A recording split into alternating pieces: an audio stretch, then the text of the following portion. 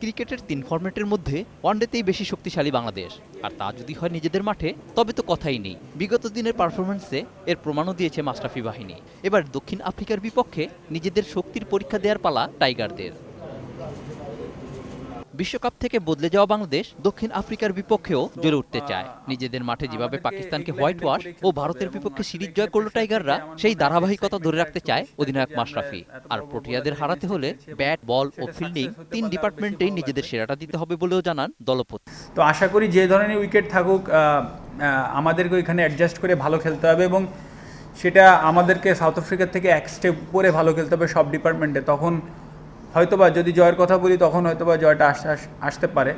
এদিকে নিজেদের মাঠে ওয়ানডেতে বাংলাদেশকে অনেক শক্তিশালী দল বলেই মানছেন প্রোটিয়া অধিনায়ক হাসিম আমলা। তাছাড়া এডিবি বিলিয়ার্স দলে না থাকায় প্রোটিয়াদের শক্তি কিছুটা কমেছে বলেও মানলেন তিনি। তবে দক্ষিণ আফ্রিকা জয়ের জন্যই মাঠে নামবে বলেও জানান আমলা.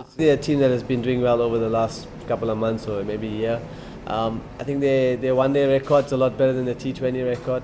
Um, so, I mean, we're giving Bangladesh all the respect they deserve, uh, certainly over the recent form. গত কয়েকদিন যেভাবে বৃষ্টি হচ্ছে তাতে জয় পরাজয় বাদ দিয়ে আবহাওয়া নিয়েও ভাবতে হচ্ছে দু দলের অধিনায়ককে